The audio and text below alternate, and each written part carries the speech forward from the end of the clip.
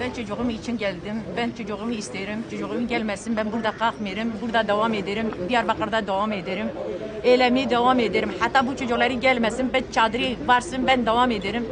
Ben çocuğu isterim. Çocuğum şimdi yaralıdır. Ne kolu var ne ayağı var. Sakat oldular orada ne ister biz çocukları? Biz çocukları isteriz. Bu PKK bize ne ister? PKK kapatsın gitsin. Biz istemiyoruz PKK'yı. Biz HDP'ye istemiyoruz. Allah için vicdan yok, iman yok onda. Bize çocukları getirsin, bize versin. Yeter, yeter, yeter. İki senedir oldular ki biz ciğerim bittiler ki. Yeter, bu HDP bize ne ister? Bu çocukları getirsin, bize versin.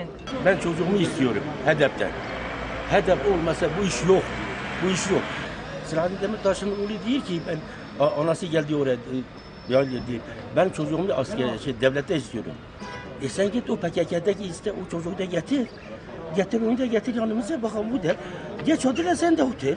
Senin bir çocuğun PKK'da. Kış, kış geçti kardan, şeyden, yağmurdan Diyarbakır'dayız. Diyarbakır. Ben e, HDP'nin önündeyiz. Bize bir sahip çıkın. Bunlar Kürt değil. Bir Kürt hakkını kuruyoruz. Kürt'le ilgisi değil. Hepimiz de Kürt'üz. Çoğu da Kürt'üz ya.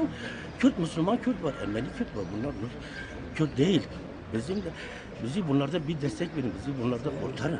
Siz Benim- Diyarbakır'da başlatmış olduğunuz eylemi Muş'ta mı sürdüreceksiniz? Şimdi Muş'tan devam ediyoruz. İki, tane çocuğum Diyarbakır'da devam ediyor. Hem orada da devam ediyorum, burada da devam ediyorum. Burada olsa burada yapıyorum. Niye oraya, oraya gider? Burası daha benim yakın, evimin önündedir.